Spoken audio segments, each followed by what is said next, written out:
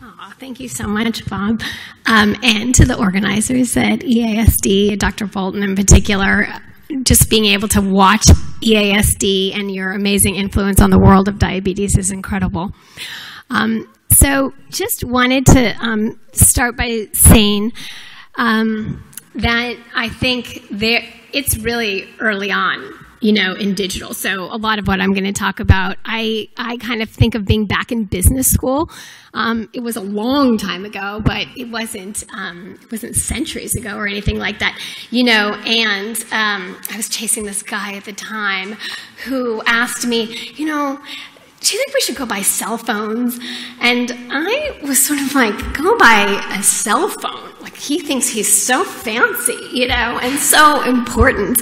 And I think about what that cell phone looked like, right? We think back to these flip phones and then flip forward to today, where we are with smartphones. I mean, I think a lot of where we are in providing tools, both to patients and providers on the digital front, we're still very early on. And I think it's very easy for us as patients to get really frustrated with how things are. And I hope um, that we can just remember, you know, how early on we are. Um, so anyway, but I think that um, it's the job that I get to do is to travel all over the world with an amazing team from San Francisco, watching many researchers and scientists, many people here in the room, and looking at all of the things that you have done to help patients, particularly on the therapy and technology fronts. And I think we are also, though, really at a time where we need to think more about how to coordinate things so that the patients and providers can get the most possible out of that.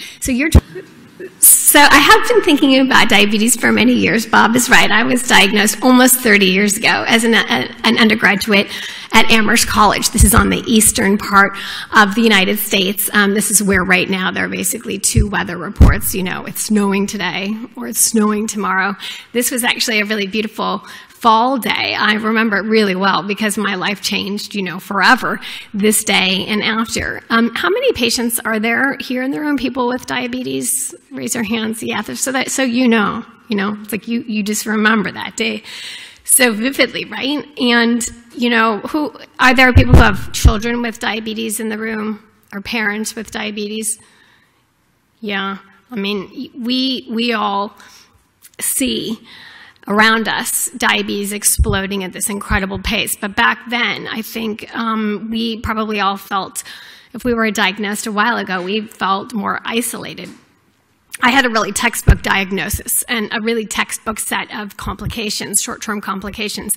Um, and I have to say, I really hated my life back then because you know, severe hypoglycemia. I was in the hospital 24 times over 12 years, but you wouldn't have known to talk to me that I hated my life because even like today, I think when you're a patient, you try to make things look, you know, like you're handling it and so forth. And I think we all need to think about that as well when we think about the, um, all of the behavior problems. Anyway, 24 times in 12 years, I was in the ER and I actually wasn't in the ER as well um, after I went off of NPH. And, you know, and I know a lot of people can benefit from NPH, and I certainly know in the world I am really lucky that I don't have to be on NPH anymore. Um, you know, it's funny when I say this, I, I always say, oh, the day I went off of NPH, I remember a very early conference that I went to at Close Concerns in um, Puerto Rico and hearing Irl Hirsch say NPH is from the devil. Um, you know, back then I think we didn't really know how to think about insulin stability and things like that. And I always just thought things were my fault. And I think as we, you know, begin to think about how patients can really most benefit from the amazing strides that have been made on the therapy and technology sides, we have to think about that, how there we can actually start to change, help them change behavior, and that's one of the things that I think that digital can do. Um, anyway, so but back then, access to information was basically my doctor, and the library was right in front of. This is actually my dorm, um, and the library was right to the right of it. That's where I went for information on diabetes when I had to get it, and really had to go read medical textbooks and figure out my life. And that was a really different time. And I think that as we think about the changes today, would have been the biggest ones, it's actually access to information. Um, so I gave a talk at the Endo Society um, last fall where I was asked to speak about um, the conference was on emerging. It was more of a policy conference, but the talk was on emerging therapies and research needed to improve outcomes. We have come so far in getting the technology and getting the therapies, and now it's much more about bringing a, a coordinated approach together. I think so. Um, when I think um, at that conference, someone asked me, "What have the biggest changes been since you were diagnosed?" And it was a really interesting question. Of course, insulin analogs, you know, and of course, CGM and improvements in blood glucose monitoring. You know, this has made a very big difference since the since I was first diagnosed. So, you know, patients need to know where they are in order to figure out where they can go, right? And there's so much focus globally on cutting the number of strips and in not giving access to good technology. And we really need to think about how to give people the information that they need in order to um, actually be able to influence their care. So I want to say, um, so you know, insulin being really different and it being easier to get information, yes. But the, the biggest other change um, is really, you know, who I have to talk to. And you know, a fancier way of saying that is just greater connectivity. You know, we've we've finally entered the digital era. So there's access not only to information but to insights. There's buddies online, there's people I can learn from, there's people I can sympathize with. I have people I can see outside of the 2 hours a year that I get to see Dr. Nancy Bohannon in San Francisco, who's my fabulous doctor. But I think that's been the biggest change. And you know, both my parents have been have, have died many years ago, but I think for them that would have made an incredible difference. And as we think about what is driving clinical change and then how to make the connections to economic benefits, that is what will actually help getting rid of some of the anxiety and stress and being able to actually have changes in behavior um, made possible. Um, so this is really the main focus of the presentation. This new world of devices and screens has really fundamentally changed the way that we as patients interact with each other and our health and our healthcare teams. And there are a bunch of implications, really, for the way that diabetes care is delivered. So, um, and then there are also a bunch of critical challenges that I think we all need to think about together. Um, so just a bit of background. Um, Close Concerns is a company that I founded in 2002, and this is exclusively focused on diabetes and obesity. And our mission is really to make the world smarter about diabetes and obesity. And my hope is that patients will benefit through better therapies and technologies and understanding as we can bring together the scientific and business and regulatory policy and advocacy knowledge to everyone who needs to know it. So um, and I thank many, um, many of you in the room have been really supportive of Close Concerns for, for many years, and this is what has allowed us to grow. The pace at which we are getting information now is completely unlike it was in 2002. Um, this is uh, some of the amazing team. This is actually the whole team. Um, this is Close Concerns, our Diatribe Foundation, as well as our sister company, DQ&A. Um, so this is really the whole um, group of people that put together, um, I think it's something like 3 million words. It's funny, the other day I actually said, you know, 3 million words, I've been saying that for a while. We should actually look and see if that's still true. And the number I got for last year was 5 million. And then I thought, oh, I can't have gone up to 5 million. That is so much. Um, but I guess as we look at the growth, we went to almost 50 conferences last year, and we went to eight conferences the first year that um, Close Concerns was around. And we found every single conference that was possible. Um, and so some of the idea is going to the conferences and being able to listen and then connect the dots for all of the people out there that are supporting us. Um, providing a platform for young healthcare leaders is incredibly important to us. So over 100 people apply for every spot that opens um, on our associate team every year. I think this year we actually have um, 300 people who applied for the one spot that's going to be open this year. And it is an amazing, amazing group of young people. What we all have to think about is how, when they are going off to medical school and to PhD programs, which is primarily what they do, how to keep them really interested in diabetes. To them, there is no more interesting world than this. They are working on the two biggest public health problems that exist. But when it actually gets to medical school and when they think about what they're learning there and what they are facing coming out, um, that's, that's when it gets pretty depressing for our young people. Um, this was great. Bob talked about our foundation, so I won't go too much um, more into that. And this is just a shot of the website um, for the Diatribe homepage. What's funny about this is, so, you know, I, I have all these statistics that I'm always supposed to say, like 400,000 people visited this website in the last year. And, you know, all of us in the diabetes community um, who write about diabetes, there are many, many patients who do today. I think we all have our little ways of, of trying to make what we do look really big. I mean, 400,000 is nothing compared to how many patients there are and how many family members and all of that. And this really gets at a lot of what I want to talk about um, about the connections that we need to make as a community on the behavior front. Again, to really be able to drive clinical change and see those economic benefits, we're going to have to change some of the behavior and some of the incentives. A lot of us in the diabetes community are doing, um, I think, what, what we can say is some good work on patient education, but the, um, we really have to work a lot more on the incentives, right? So um, this is just an outline of the presentation, so I'm going to fly through some of the challenges. The challenges are not new to any of us, right? At a patient level, at a provider level, or at a system level. I do think if we think more about the challenges at the system level, we'll learn more about what we can do at the patient level, again, to change behavior, behavior being changed can get us to better clinical outcomes. And boy, do we need to see better clinical outcomes in order um, to be able to get our care paid for and to be able to do better as patients. And all of the governments of the world obviously need us to do better at patients. Um, then I'm going to highlight some of the digital tools and technologies that I think can address um, some of these challenges. And at the end of that section, I would really love to hear from you. Um, we would love to know what would your vision of a redesigned model of diabetes look like. We're going to be putting up some pages um, during cocktail hour, and there are going to be some prizes um, for people who help participate in that. Uh, so we'd like to make that interactive in a couple of different ways. And then last, I'm going to talk about the key challenges that lay ahead for digital diabetes care. So. Um, we are uh, obviously, as patients, to be a patient is actually a lot harder than it looks. Everybody here knows this, so I'm not going to spend much time here, but I think it is important to say that I don't think society realizes that, and I don't think the urgency of diabetes is very well um, shown in the media, right? So there are um, a lot of things that make insulin hard, but a lot of things that also make other drugs hard um, that are associated with hypoglycemia and so forth. And I think that has been um, really underplayed. Along with this, the therapy overload, again, I think this looks easy from the outside, and I think as patients, we're not really uh, very eager to talk sometimes about how challenging this is.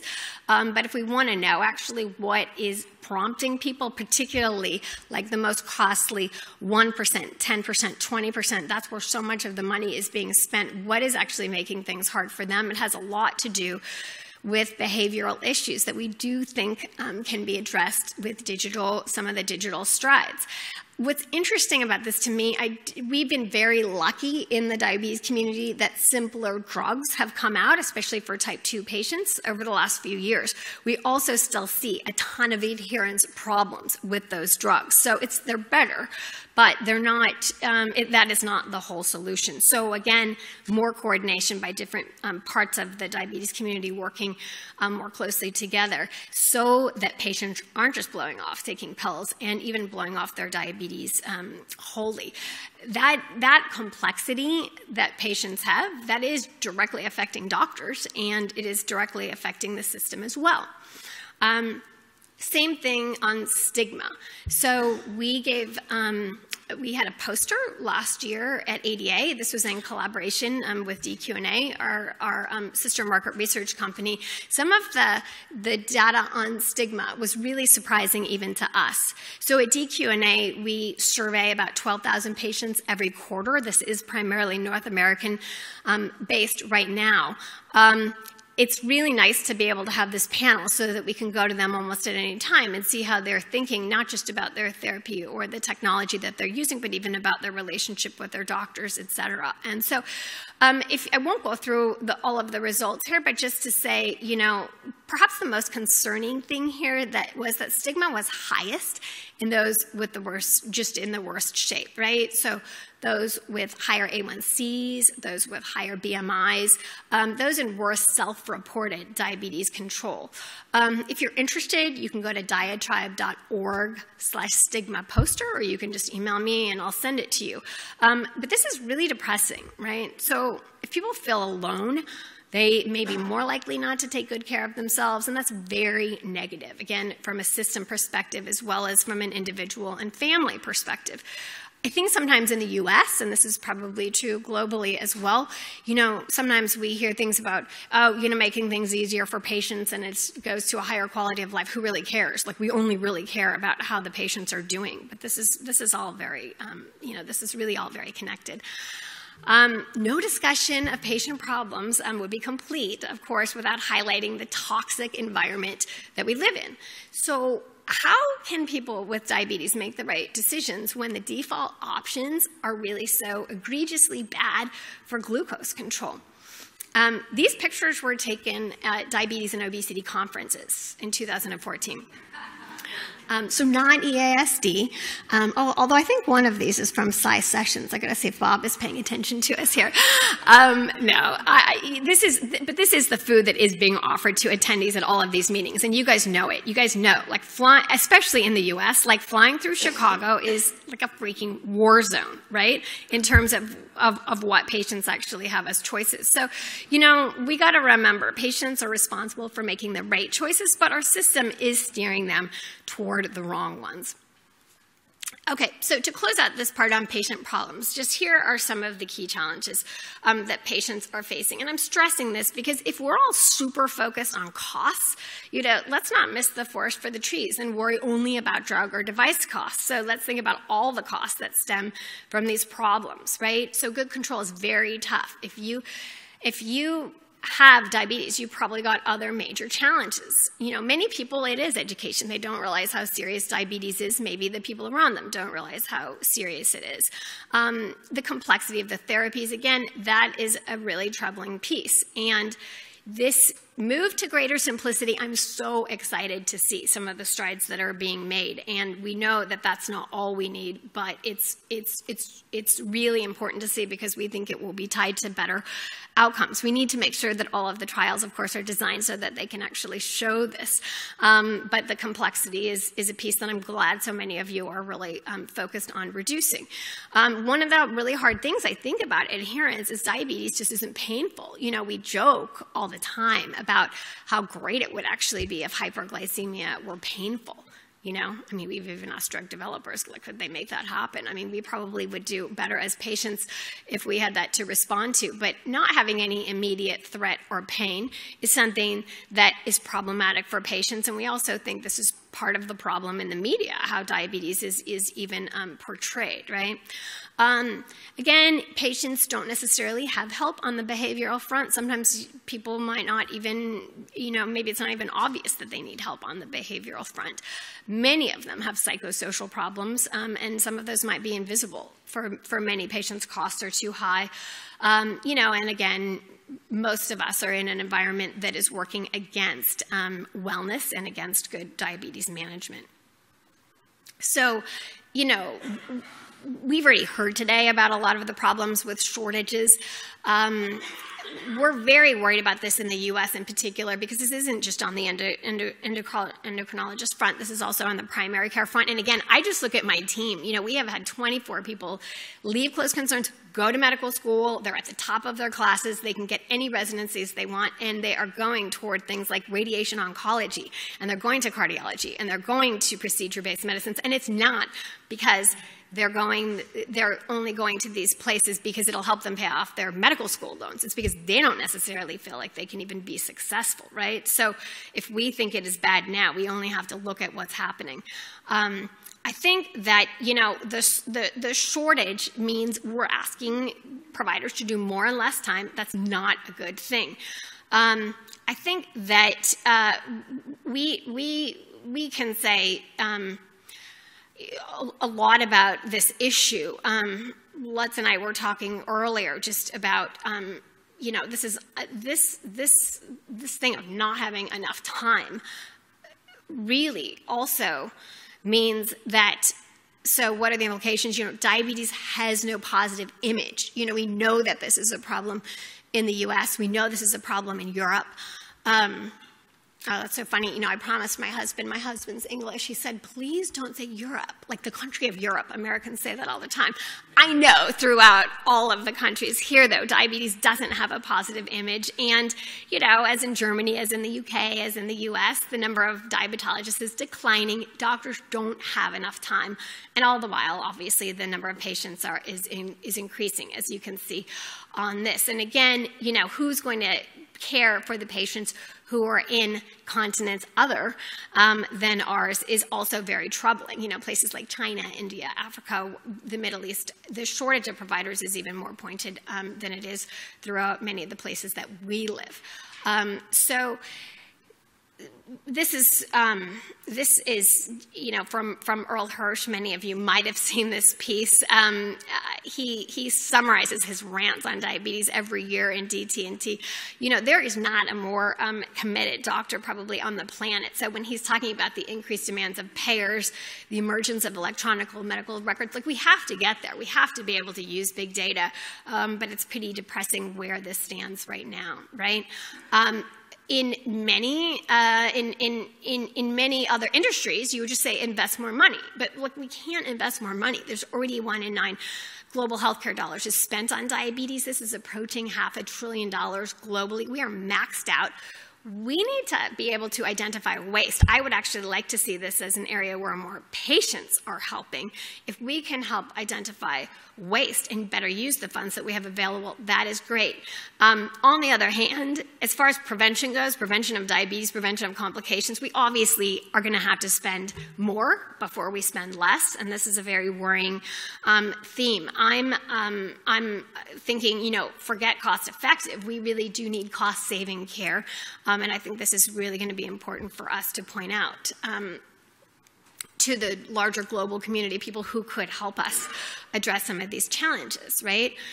So you've got here basically what's a perfect storm. Um, this is confronting us in diabetes and also in healthcare more broadly. There's more patients, there's a shortage of providers, they all don't have enough time to spend with patients. The system is maxed out on costs, uh, meaning that thoughtful investments are a lot harder to justify. So, of course, this is the lead into, you know, what can we do about it? Is there an umbrella and raincoat, if you will, um, for the storm that we're facing? Well, you know, maybe there's some help to be found in the new diabetes care approaches in this digital era. So in this part of the presentation, I'm going to go through some of the ideas and, and, and concepts um, that we think are you know, could be promising. So each is an additional tool in the toolbox. We need a really big toolkit to confront something as big and challenging as the global diabetes epidemic. And so, you know, I completely uh, encourage you and welcome you to be skeptical um, because again between uh, sections two and three uh, i'd like to ask you to, be, to envision the future of diabetes care so um, all right, so first, first we do have to equip patients with excellent tools to better manage their own condition, especially, this is, this is more and more true because providers aren't available. Um, as much as they were before. So on the left-hand side here, um, you can see Abbott's Freestyle Libre. So this has gotten really strong reviews um, throughout Europe. We, of course, in the U.S. don't have access to this yet. The FDA has, approved, has, has certainly Im improved. I would agree with many of the comments that we're hearing on the regulatory front. Um, but, but, this, but this is really interesting. This is a tool that is a lot simpler to use, and we're, I don't think we're really close in the U.S. to getting it. And um, so I don't want to throw the baby out with the bathwater in, uh, in terms of talking about the, the EU regulatory landscape. There are some things that are, um, that are good about it. So the cool thing here, I think, with this product is that this is really enabling um, therapeutic change. So it's making it easier for patients to actually see what's going on and also making it easier for providers. Just from a democratic perspective, I also just really like it that it doesn't cost more to the more that you look at your blood glucose, right? So the, the technology costs more than using two strips a day or something like that, but I think you're putting patients in a, in a tough spot when they can't um, you know, when they have to actually pay more to use more strips and so forth. That's one of the things about CGM that I've also really liked. So uh, I think making this easy, um, making um, change easier for doctors to identify is good, and I understand the training is really um, is, is ramping up on this front throughout Europe. Um, so the picture on the right, this is um, uh, Dexcom CGM data on the upcoming Apple Watch, um, which is going to be available in April. Um, one thing that is amazing about this is just that, I mean, there is such there's such a boom going on in technology. We, our team, you know, we're all in San Francisco. We're in the middle of uh, and very near Silicon Valley. And you know, only two years ago, people were saying Apple, like being involved in in diabetes or Google, like freaking forget it, you know, because they do not want to deal with the regulation and so forth. And I actually really um, credit FDA in a huge way um, for some of the strides that they have made. Um, Dexcom has also. There's probably not a company that has been smarter or savvier about the way that they've worked with FDA you know, but so here we see this fast timing is possible because the watch app is going to function as a secondary um, display. And uh, we'll go more into this in a bit, but giving patients the um, ability to follow their own CGM data so that they can actually see very easily with their phones what is happening. Oh, that is what happens when I go for a walk or go for a run or when I eat um, this or that is, is, is fantastic. So I think um, what I want to say about these devices in particular, um, they really symbolize several pretty important facets about the future of diabetes care as we might see it as patients. So the more data and devices can fit into our lives in a seamless, simple way, the better. And again, that's not because that makes my life just like rosier. That's because that actually leads to better clinical outcomes and then we can tie that to economic benefits. Obviously, the trials are going to have to be all done in the right way, but it's, I want to get away from this idea that the outside world sees as just convenience is more expensive. It's actually going to be less expensive if things go the way we think. Um, when you give real time feedback on diabetes, and especially this is for people who are taking insulin, um, but as every patient is staying older longer, so there are more patients certainly who will be and should be taking insulin. I think then patients can make better decisions and understand the cause of out of range blood glucose levels. So these are not all conversations that have to be done with healthcare providers just because we, we know that they can't be. So that tighter feedback loop is really critical to diabetes management and a real hallmark of the future of digital diabetes care. Then the other piece is that these uh, promises are really going to equip loved ones, healthcare providers, and payers with more information to reach out to patients who are at high risk of a severe event. And a move in this direction hopefully means lower costs in the long run. Again, this will have to be proven. Um, but you know, just as an aside, the whole partner thing and parent thing and all of that is is is really hard. I mean, I know my husband just tiptoes around me. He has like 70 different ways of saying, "Oh." Hi, should you check your blood glucose or should we check your blood glucose now, et cetera, et cetera. CGM has actually made it a lot easier, but getting it on the iPhone, that is really a fantastic thing. I, I think it's probably actually much harder to be a partner or a parent or a kid with their own parents having diabetes and i think that's really not well understood and again making life better for them is that's not about just making life more convenient that is about prompting better clinical outcomes. Um, so on the provider side, um, to pick up some of what Bob was talking about the, earlier today, um, we also do believe that a future is coming where data downloading gets easier for patients and providers. And he's completely right. Like no one is working, no one as patients is really downloading right now. Very few. There's been some early work from some of the pioneers like DiaSend. You know, this was um, a picture sent by Dr. Bruce Buckingham from Stanford just a couple of days ago. And we just know if you don't have access to the data, you're sunk.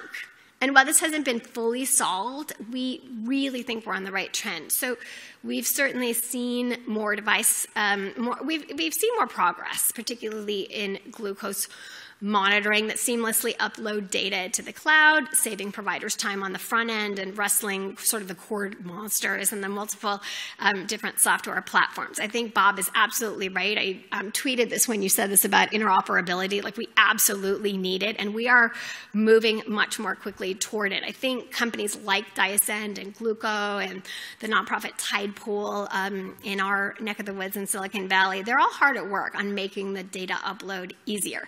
And meanwhile, on the type 1 front, JDRF has, has helped coordinate the publication of CGM standards for interoperability, and pump and BGM standards are in the process. So this is going to get better. It's still obviously a major need. To address some of the provider shortage and time constraints, it is really interesting looking at telehealth. And this is really taking off by leaps and bounds you know, so, so what is telehealth? I mean, it is a really fair question. So is this, you know, seeing your provider on, on, on your computer? Is this seeing your provider on your you know, smartphone? Is this texting? Is this emailing? I mean, probably all of these things count, right? And this is not to say at all that patients don't need to see their doctors. And even sometimes people make the shortcut, oh, well, if they're in good control, they don't need to see their doctors. Like, that's not true at all. Um, but it is all about, and Bob and I were talking about this at lunch, but really about, look, you probably can do a lot with data so that when you actually are face to face with the doctors, you can focus on what the problem problems are that you can't do over email and mobile and so forth. Um, I think that uh, it is also, though, true, we'd like more time from HCPs to be to be untied so that they can work with the patients who need more time and being able to identify the higher risk patients who do need more time are really important. So, um, you know, I, th I, think for, for, I think for many people, the promise of being able to connect with a doctor and not have to drive half an hour and get parking and all of that stuff, if you can actually get rid of some of that, that is really a positive. And, um, you know, and arguably, I think that's a positive on the provider front as well. So, so in other words, we're talking about like texts working to supplement meetings, for example. Um, anything that can increase patient responsibility and motivation is a great thing on, on our front. So um, this is, it's just, it's, so it's really interesting, again, not to be so North American based, but it's really interesting to look at what Kaiser is doing. So I talked to uh, Dr. Um, Dudl the other day, who helps run diabetes there, and he basically said, look, we're not as good as we want to be on glucose control. He basically said we're in like the 75th percentile or something like that on HEDIS. But he said um, that even though we're not the gold standard now, look, we see where this should be going. So they are doing many, many, many more e-visits. And and right now, they're trying to get every Kaiser member on Kaiser email, and so that they can actually get in touch with the nurse case managers. And it's been their experience that patients are really eager to work with the nurse case managers, who they might, you know, envision as as um, you know, people who are a little more sympathetic to their cause in some ways. So they do have access to the doctors, um, but they're also doing a lot at Kaiser for the doctors to work with nurses in a much more coordinated way, right? Um, so he said where they are headed is absolutely trying to partner every single physician with a care manager.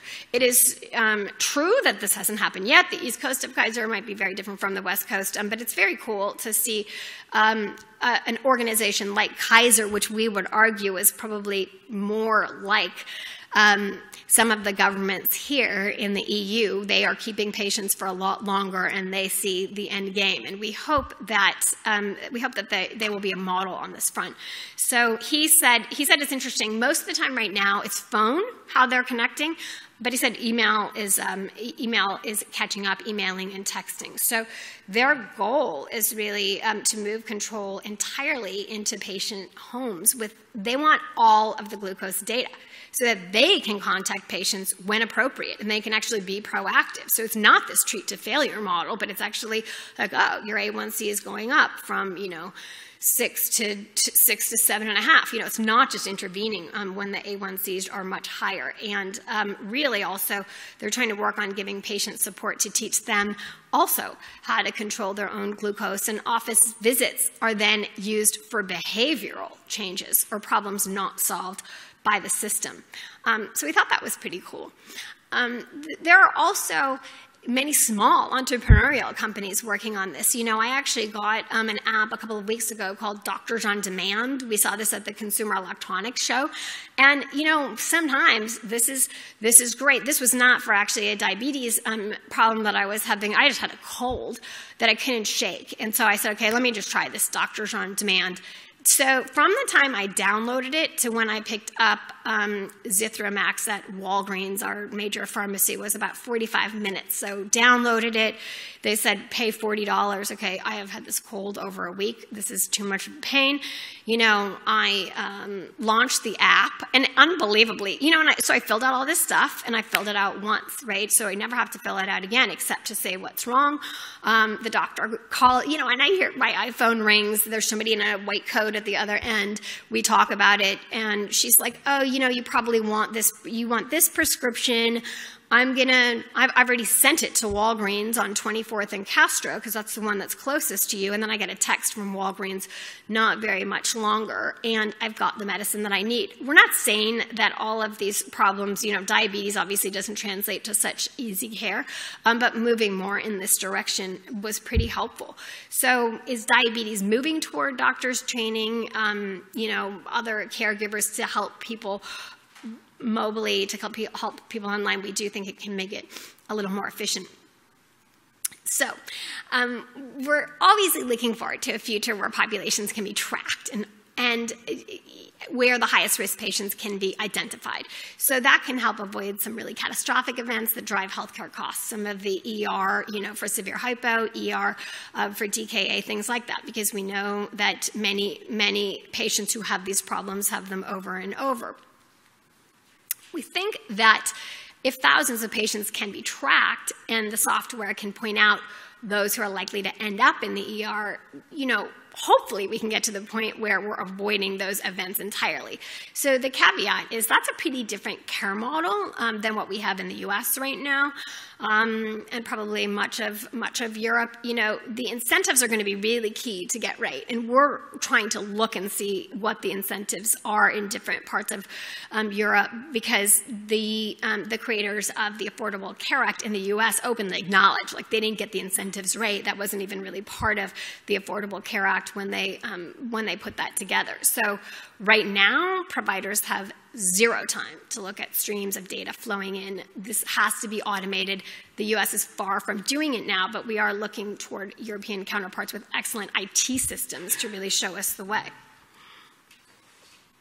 Okay, now, moving on to social media. So we get asked all the time how social media is impacting or could change diabetes care. And I think to frame the discussion, it's really critical to note just how massive it is and how quickly it's grown, right? So one in six people on the planet is on Facebook. And this is a website that if we were at this meeting 12 years ago, like no one had even, Facebook actually hadn't even started, right? So the same is true for YouTube. Um, this slide only makes the point, you know, social media has impressive global reach and it's grown incredibly quickly. How specifically relevant to diabetes is it, right? So you can certainly see social media is ubiquitous in the US. Um, these global, the global stats are not very different though. And it's been really interesting to also see across age groups how much it's grown, right? So it's not just that 90% of 18 to 29 year olds use, are using social networking, but over 65, it's, it's nearly half of those. And these numbers, we literally update this slide, you know, every few months, and the way that this has grown is huge. So, you know, some of the takeaways that we think about as far as social media goes, lots of direct and broad interaction with the what we call the diabetes online community, basically anyone with diabetes who's going online. Um, this, there is a lot of different um, stuff going on, right? So some of it is Facebook, some of it is people tweeting, some of it is people using hashtags, some of it is chats, some of it is, you know, and, you know, believe me, there are some really some doctors who actually spend a lot of time online who are endocrinologists, who are primary care doctors, et cetera, who have real followings. So people with diabetes are also using their networks to get the word out about news, you know, unique opportunities and programs. We we know like 90% of what we know, for example, about different therapies and technologies that are approved in Europe and are not approved in the US is because we get it online, right? And so it's not that we're saying every single person online who has diabetes is representative of every um, you know, of every patient over here, but there's a lot of good information that we have been able to get, and there's a lot of good information that is shared among patients. So, you know, they're sharing interesting content. There's a forum for there are forums for discussions and dialogue, and they just don't go to them if they don't like it. So, like, who's popular and who's good rises to the top, um, particularly on Facebook, the different discussions, and on um, Twitter. So you know, there's an authenticity that I think patients really do appreciate, um, and they're certainly not just writing about um, about only diabetes. Um, but I think that they have many patients have have found um, some good support there. So we look at online at social media. So it's support, it's conversation, it's news and tips, um, and some of it is advocacy as well. And this is um, really interesting to think about. We, you know, we, we know there are different examples here that you can see where social media has helped people. Um, how many people here have heard of Nightscout as an example? You can raise your hands. Yeah. So, so in the U.S., this is really interesting. This is the power of social media. Um, this has been a, a, really good example of grassroots action and patient advocacy. Um, what the Nightscout system does is it takes data from the Dexcom CGM receiver and it sends it to an Android. Right. The data is then sent to a cloud, and patients um, can actually show their data to others around them. And it's been particularly um, it's been particularly popular with parents who have problems with their kids at school and not being able to see their numbers, right? So this system was pretty do-it-yourself. But what was amazing, the system um, actually was not FDA approved until until recently. And it was really a brainchild of parents who decided that they couldn't wait for the FDA to make these connected devices more available. So social media was really what enabled this to take off.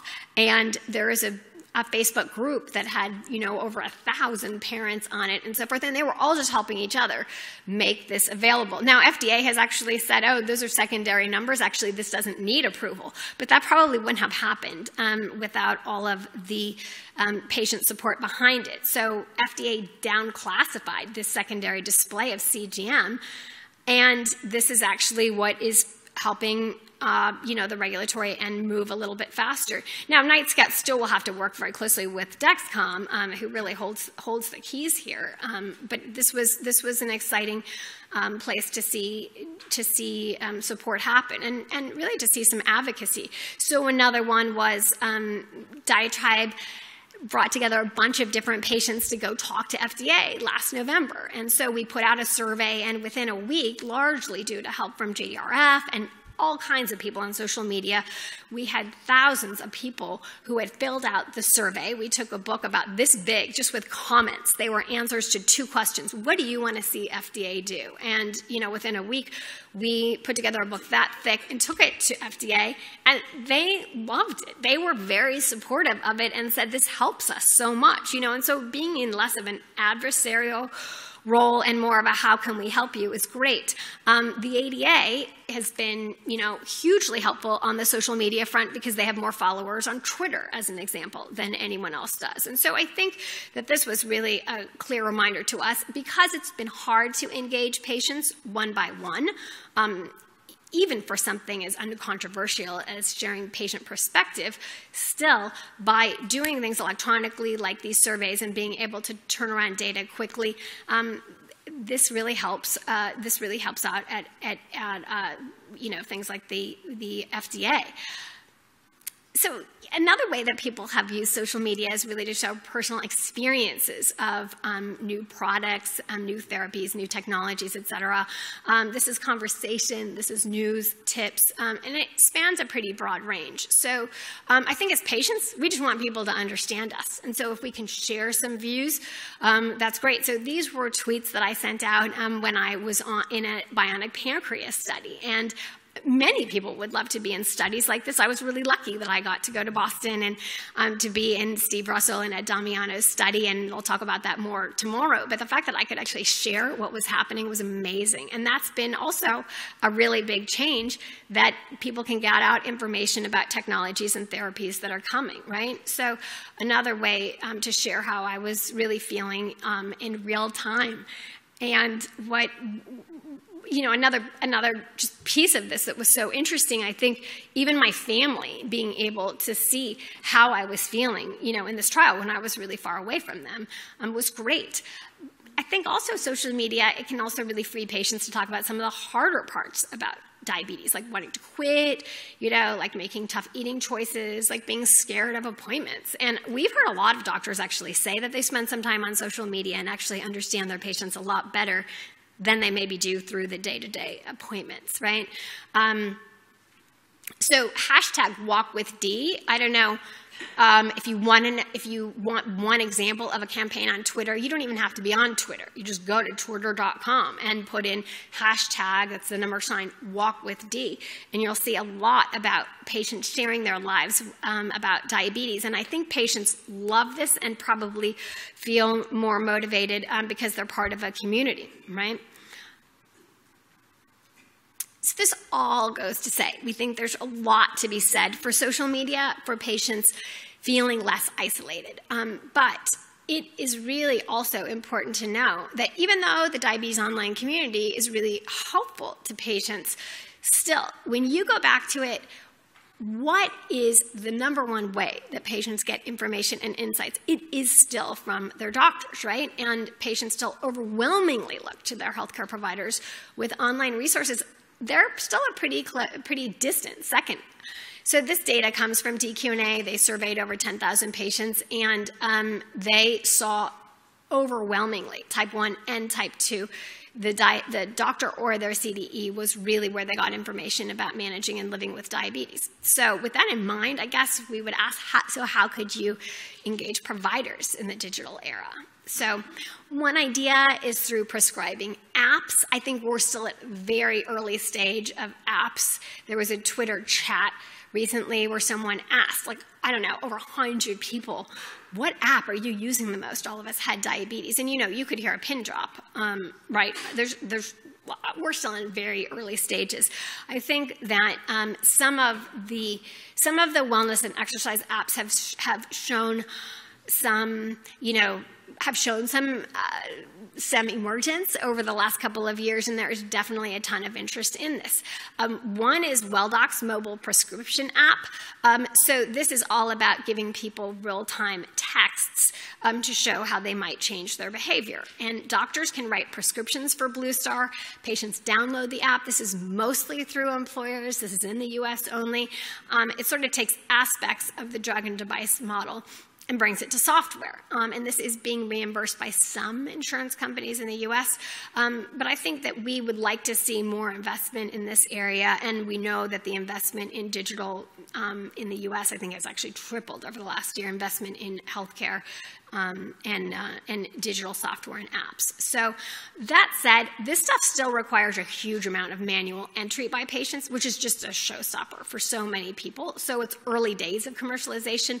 We'll have to see how engagement looks over the long term. Um, I think the idea of prescribed apps is really nice, though. You know, even if doctors are just prescribing um, things like exercise, things that they actually think can get at some of the behavioral side, right? So when we think big picture, digital diabetes holds a lot of promise to collect better data on patients, um, but it is also clear there's no time or payment, again, for providers to look for it. That's true in the US, that's true in Europe, not at this point. Um, we hope one day to get to a world where data is collected automatically and then analyzed automatically so that they can generate recommendations for providers. And this is where the field has got to go, right? So diabetes is still kind of stuck at the first step which is just collecting the data without any hassle. But in the future, we hope to see better use of software to recognize patterns, making therapy recommendations, um, and helping patients and providers sort through that complexity um, that is managing data. And why? So we want that to lead to tighter feedback loops. And when I say we, I just mean like kind of the the the, the diabetorati that is focused in this area, right? Um, that's a really big problem right now in diabetes that the, the feedback loops just aren't fast enough or tight enough. So we measure and analyze and make changes pretty slowly, right? So we need systems that will allow data to be turned into information to make actionable change. Like we said, we have seen some therapies and technologies that are better at that um, come out in the last year or so, and that's a really good thing. We also would just say we don't want these changes just to be made when people go in and see their doctors. And this whole thing of, you know, only four times a year, I mean, that's a myth anyway. People are not going to see their doctors. Um, or healthcare providers nearly that often um, in most cases. So we would like to see more of this happen mindlessly with minimal um, provider effort and um, patient effort in a system that will pay for it. Digital diabetes care has the potential to help patients and providers cycle through the diagram, this diagram, much faster. Um, and that would result in better outcomes for patients, we would hope, and lower costs for the healthcare system. Um, this, all of this data, of course, is very important to capture. The trials have to be designed in the right way so that you actually can show the clinical change and so you can translate that um, to economic benefits, right? So, um, all right, so I have about 10 minutes left. We wanted to just say we've been um, given permission during cocktail hour to put up some of these questions on the wall, and I wanted to just do a quick vote right now. I think we get to put three of them up, and then um, we're going to go around and try to get you to answer some of them. Um, but what, which of these questions do you think this group would be able to mo most helpfully answer? People can just call, call them out. Um, we want you to think about redesigning diabetes care. And one of the reasons behind this is because we know, especially in the US, there is not nearly enough funding going toward some of the really interesting things that could happen on the digital diabetes front. We'd like to see more pilots happening.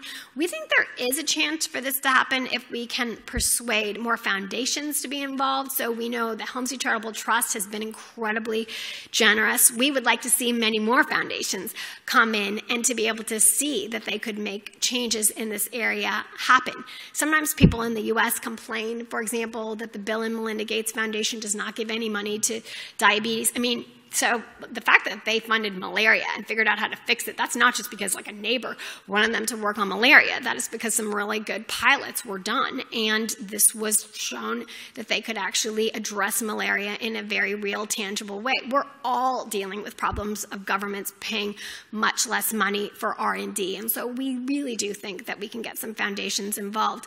Um, so I don't know, can people call out um, which of these questions that uh, you guys would be interested in answering at the break? Okay, we're gonna we're gonna write these down.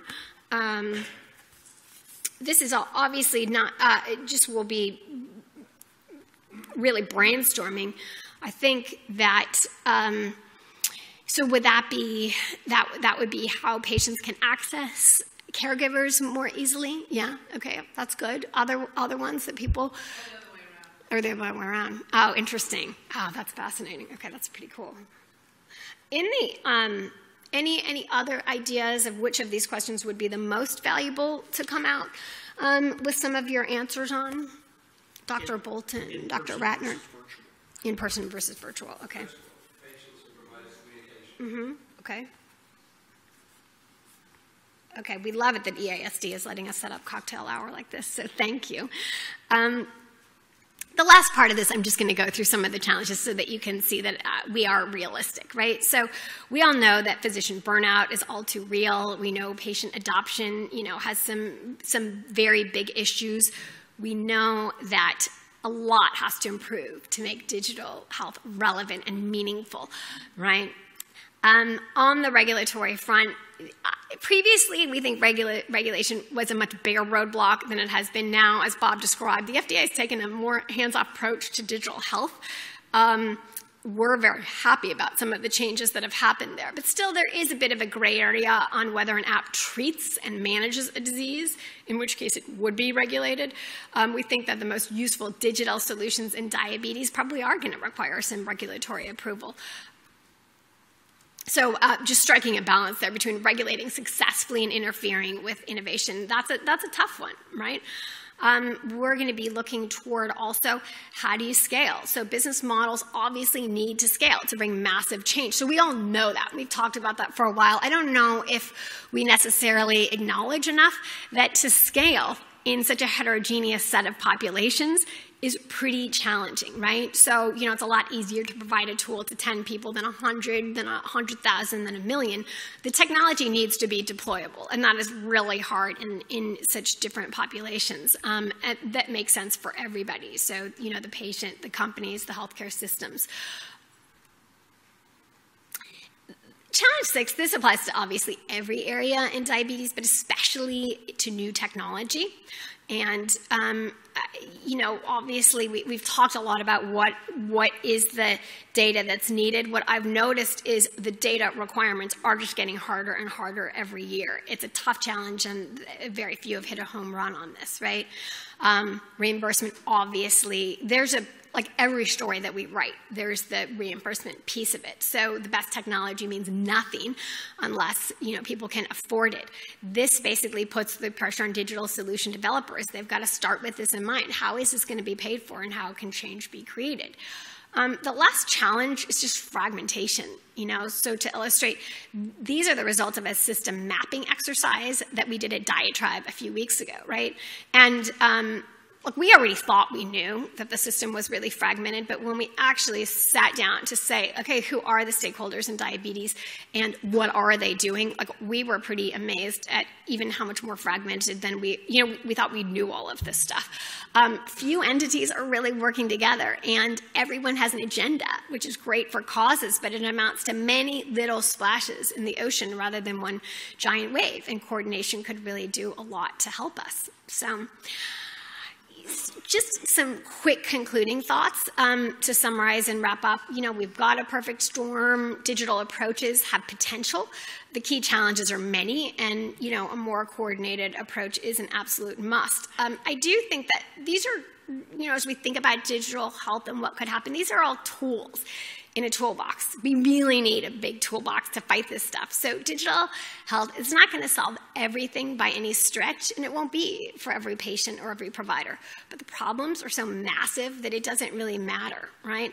So you know, many do believe that the next frontier in diabetes is behavior and incentive and system changes. You know, another drug or another new therapy is not going to solve the problems that we're facing at this point because we've come a really, really far way. And so let's figure out how to employ better drugs and better technologies. So, you know, how, we, how, do, how do we get providers to care about a disease that is losing them money and is a nightmare to deal with is a big question. How do we get a system to invest over the long term? I guess, you know, these are the questions that keep me up at night, um, and these are the questions that I'm going to be asking for your help with um, as we all sip some cocktails together later this afternoon. Thank you very much.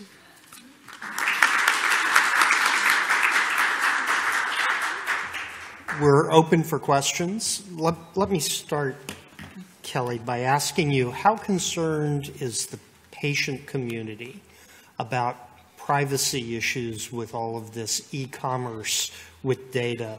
And similarly, how concerned are they about cybersecurity?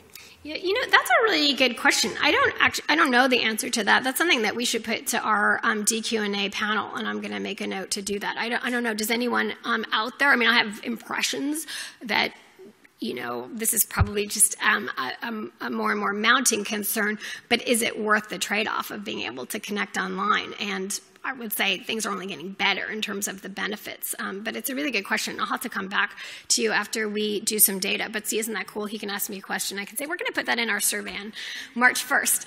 Um, so I will. And I'm sorry I don't have a good answer. Does anyone out here have an answer for that question?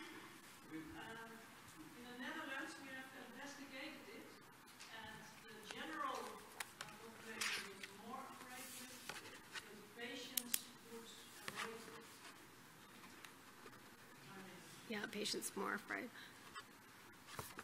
Yes. Wim, please. I can shout, but uh, I, I, didn't uh, hear the answer from my colleague in the Netherlands, but internationally it's coming worse because of the non-acceptance by the societies in the world that someone has diabetes. Mm -hmm. uh, for instance, we are fighting, even, even they are saying, for uh, pilots uh, in Canada, pilots with diabetes type 1, insulin dependent, That is crazy. are allowed to fly with strict control with all things, but in other countries not. And if a pilot gets diabetes, he will hide it because he will lose his job. And I guarantee all of you that one of you who is flying back home tomorrow, that he will have a pilot with diabetes. I know several of them who are hiding it because society is not accepting it.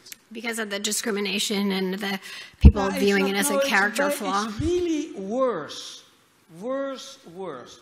Because a lot of people in the world are hiding, are not Mm-hmm. yeah. coming out, and we can learn from the people with HIV/AIDS. For several years ago, they are coming out, and they have now a much better position than a lot Yeah. of people with diabetes who are hiding it. There's no communication, and Oh yeah, until suicide or something uh, uh, like that, because the society is not accepting. And your uh, story, I can imagine, and that you are coming out so enthusiastically, uh, uh, but I must, I didn't know what the answer from, uh, from you. I didn't hear it, but uh, I think that she was always saying a little bit how difficult it is in the community, also in the Netherlands. Yeah, I I think also uh, there is um, um, Mike. mm, Um, oh, I was mangle his last name Manning Manningiello. I think um, is an amazing, um, amazingly smart person on policy in the U.S. and has really talked to just a few of us in the diabetes community about the amazing strides that have been made on the HIV/AIDS front. And he's basically saying to us as advocates, you know, in the U.S., they're just checking your box when we talk about, United you know. States is the same. No, no, you, I, you I, don't know because they are hiding them themselves. Yeah, we're actually in violent agreement here. Um, he's actually telling us as advocates that we actually need to do a lot more, but there is so much discrimination and so forth that uh, it's viewed as a character flaw having diabetes, so people aren't even necessarily coming out. But I think it's a, a really good question that we should um, that we should just ask in our next survey. Any additional questions, please? Yeah, I think one other very key issue which um, is not getting recognised generally in all of this, whenever big data is mentioned, and you know, no offence, but when we go from a box that's data, analyse decisions, um, th- there needs to be methodology behind all of this and models. And uh, otherwise, we may end up getting what we think is information, but is actually very misleading. So, you know, what I, the kinds of things that I think are really important for people to acknowledge are the um, importance of the methodologies of informatics, epidemiology, and other disciplines. Unfortunately, because of the power of media, who mostly do not know what they're talking about, we're living in a world where it seems like we can kind of go around all that old methodology and it doesn't matter, and that's absolutely not the case. So I just think I just wanted to flag Thank you. that Yeah, that's it's a really help, it's a helpful comment. Where could we? Where do you think that diabetes could learn the most from? Like, what other areas um, that have done this well? I mean, we can talk Well, afterwards, but in- I don't think anyone would disagree I'm, I'm very, with that. This is a topic I'm very passionate about Okay. as, as an ex-statistician. Um, and, uh, I mean, yeah, this one thing I despair about is the lack of good information. Okay. One uh, thing I did share in my company recently was an article by a guy called Tim Harford who wrote in the Financial Times, extremely good article a year ago, to make this very point. So it's not that big data is all wrong, that's not my message, but it's that we have to uh, acknowledge the importance of uh, proper methodology to get useful information. Yeah, thank you for this. You know, it's probably one of these things I don't even know what I don't know on this front. So I would love to talk No, to you I'm afterwards. to And also, talk. this is my work. I go around and listen Yeah. to really smart people, and then I grill them about you know what the world needs yeah, to know. I'm, ha- so I'm happy to talk. I'd love and, to talk to you and afterwards. just search thank for you. Tim Harford's article, Financial Times, March last year. In March 10 14th. minutes, you will learn much more than you probably know about big data uh, today. More Mm-hmm. useful information. Thank you. Thank you very much. Thank you. Any further questions? Okay. Uh, First of all, I'd really like to congratulate for your advocacy. It's uh, really passionate and it's very important, I think. Uh, thank you very much.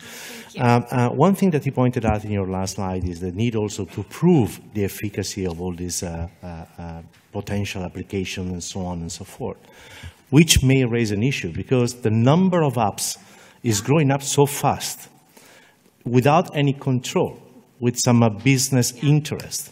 How can we build up programs that really could, in a scientific and solid manner, evaluate the efficacy of these potential applications and, and, and what is the real impact in the glycemic control, in the outcome of the many patients with diabetes? So, this is, yeah, this is such a good question, right? I mean, the digital age is bringing a lot of requirements and there are declining resources. This is a big piece of why our foundation really does want to bring in very smart um, and well resourced foundations to help us with this stuff. I think the good news is, you know, I mean, when I started Close Concerns in 2002, when I was diagnosed, there were 30 million people globally with diabetes, right? So in, in the world. Now there are 30 million just in the US. So I think we do have an ability, and especially as advocates, to increase the urgency so that we can actually show what can be done. And I don't know if the best place is to actually look at governments to fund this. I certainly know in the US there is zero interest in passing anything in Congress that costs any money. But I do think what's really cool, I mean, this we are going through a period of unprecedented wealth creation on the technology front. And so if we put that together with what actually can change, just looking at what Apple and Google are trying to do in diabetes, and they are saying there's a lot that they don't know. And so it is up to us to get a really coordinated effort to tell them what they can help us with. And I think for them, being able to see these sorts of changes that they could make is great. And I think they would understand this problem much better, probably, than some of us in the diabetes community. So thank you for raising that. So one of the advantages of social media is the, the breadth that the number of people that you can reach. It's also one of the potential dangers in the fact that there's so much information. How do we vet the information that's online for reliability, validity, and safety? I, you know, uh, Bob, I don't have a good answer for that either. I think um, that one thing that has worked to some extent is just the sheer numbers. You know, we all know people in the diabetes online community who say really disparaging things and they just don't tend to get followers, you know? And so it's just the law of large numbers and small numbers. And it's like, okay, well, you know, people aren't going to go there. I, I think it does make it really, really important um, to, again, as a community, look and see how we can expand the resources coming in and focus on education and on bringing the right doctors and healthcare providers in to be able to try to address some of this, you know, and, and uh, we must harness the media in a much better way because the way that we're doing it now is, is, um, is, is very depressing and it is not helpful to the community. So um, I am going to think about that question as well, and maybe we'll put that one up for all of you to help us with during cocktails.